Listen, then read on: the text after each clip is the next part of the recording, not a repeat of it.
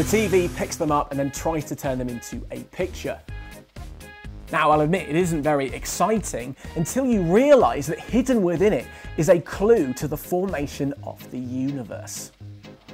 It was discovered completely by accident back in 1964 by a couple of scientists called Penzias and Wilson at Bell Labs in the US using a special sort of telescope called a Horn receiver basically a super sophisticated version of your TV satellite dish. Adam, you can tell me yeah. that we can't see a thing yeah. through these right now because they're designed to really block out the sun's light directly. Oh. These are the only things that should be uh, used I mean, to look they're not sunglasses, that's no, the point. They're, re they're really, really Only strong. these things if you want to look directly at the sun. There are other things you can do. You can make a pinhole camera and look at a projection, yeah. or you can use binoculars to project the eclipse onto a surface behind you and then do a selfie like that. Right, that okay. That's how I would uh, do that if you uh, want to really go on Twitter. It tells us so much about why the universe is the way it is. And it's all down to symmetry.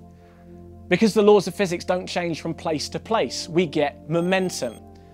Because we have rotational symmetry, every direction I look, the laws of physics are the same, we get angular momentum. Another sort of rotational physics gives us the electric charge, and so on and so on.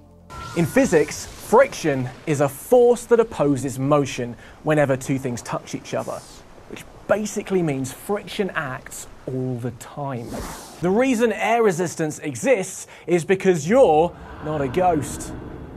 Or to put it another way, the air can't go straight through you it has to be pushed out of the way. It's the quark gluon plasma, which you, you may have heard of um, if you were around in the first 10 millionths of seconds after the Big Bang.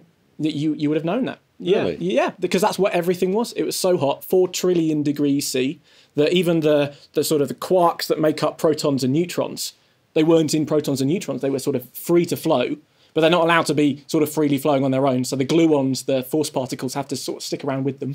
So they so they assembled into the nuclei of atoms as a result of getting cold. Yeah, or the immense temperature disappearing.